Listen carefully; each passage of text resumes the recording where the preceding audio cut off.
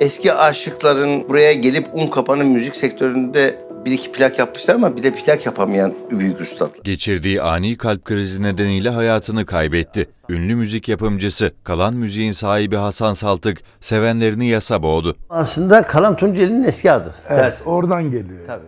Hasan Saltık, kalan müziği 1992 yılında kurdu. Unutulmaya yüz tutmuş arşivlik kayıtları elinde bulunduran koleksiyonerlerden ve eski müzisyen ailelerden derlediği etnomüzikolojik çalışmaları Kalan Müzik adıyla yayınlandı. Taş plakların eski kayıtların nasıl temizleneceğini Londra'da öğrendik. Saltık, Türkiye'nin zengin kültür potansiyelini ortaya çıkarmaya dönük 900'ü aşkın proje gerçekleştirdi. Projeleriyle Anadolu kültür mirasını dünyanın en prestijli arşiv ve kütüphanelerinde dinleyicilerle buluşturdu. Neşet Ertaş'ın bana vasiyetiydi bu ölmeden önce. Benim makara mantlarımı bul diye. İşte geçen hafta bulduk bir depoda.